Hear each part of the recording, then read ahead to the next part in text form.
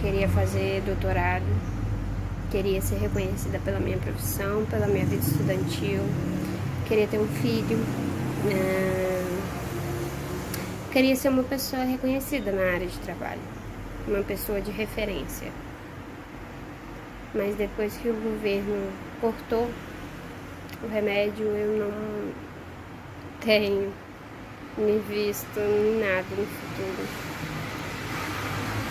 Eu sei que é triste dizer isso, ou uma pessoa que se importa bastante é, escutar isso, mas é a verdade.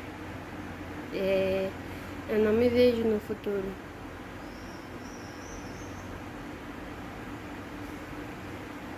Não me vejo, não tenho mais esses sonhos que eu tinha antes do governo cortar o remédio. Hoje eu não tenho mais aqueles sonhos. A não ser que Deus assim permitir que eles liberem de novo remédio e acabe com essa loucura que tá a nossa vida.